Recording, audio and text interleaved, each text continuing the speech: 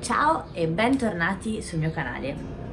Innanzitutto grazie per essere qui, se non l'avete ancora fatto mi raccomando iscrivetevi, attivate la campanella così ogni volta che c'è un nuovo video verrete avvisati, lasciate un mi piace e un commento a questo video. Oggi vorrei guardare con voi un video che è stato girato quando ero ancora ginnasta, un video molto molto bello, mi sono molto emozionata quando l'ho riguardato quindi vorrei vederlo oggi insieme a voi.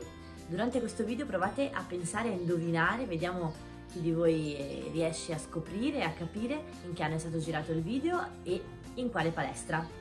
Poi alla fine del video torniamo qua insieme così lo commento con voi, vi svelerò qualche segreto a riguardo.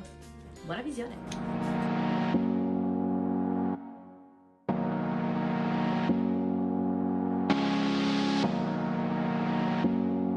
Tra gli attrezzi della ginnastica ritmica troviamo la palla. Con questo attrezzo si possono eseguire movimenti di rotolamento, palleggi, grandi maneggi e lanci.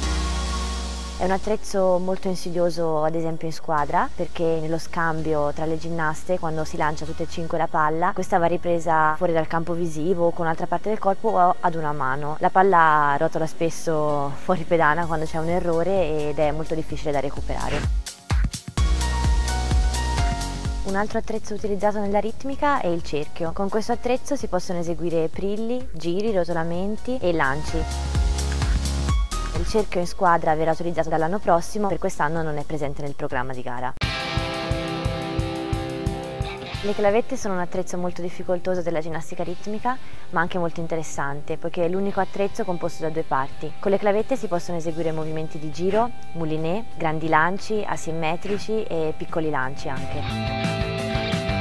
In squadra sono particolarmente difficili perché nell'esercizio con 5 paia di clavette troviamo 10 attrezzi in pedana e quindi non è facile gestirlo.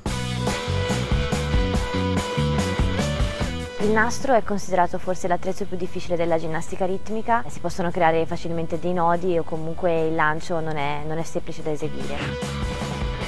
Con questo attrezzo si possono fare diversi tipi di movimenti, le figure come le serpentine o le spirali, i maneggi come le circonduzioni o movimenti ad otto, gli échappés, i lanci a boomerang e i lanci dorsali per avanti, trasversi.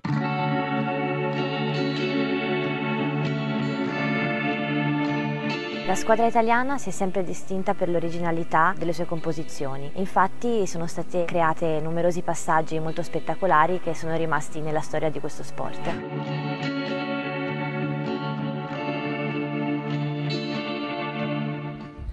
Eccoci qua, bellissimo questo video, mi piace veramente tanto, lo guardo molto spesso. Allora, l'anno era il 2014, la palestra è quella di Follonica, ovviamente, Toscana, quindi sede di allenamento estiva della squadra nazionale, tante estati passate dentro quelle mura, quindi anche quella palestra per me è un ricordo favoloso. E questo video è stato girato pochissime settimane prima dei mondiali di Izmir, appunto nel 2014 e quindi era un momento di tensione, di adrenalina, però un momento positivo comunque, un momento di grandi aspettative. Poi quel mondiale è stato un mondiale magico perché abbiamo vinto la medaglia d'argento, non me lo scorderò mai, vice campionesse del mondo, è davvero davvero un bel ricordo. Spero che questo video vi sia piaciuto, se è così lasciate un like e un commento, iscrivetevi al canale e ci vediamo qui per altri video. Grazie, ciao!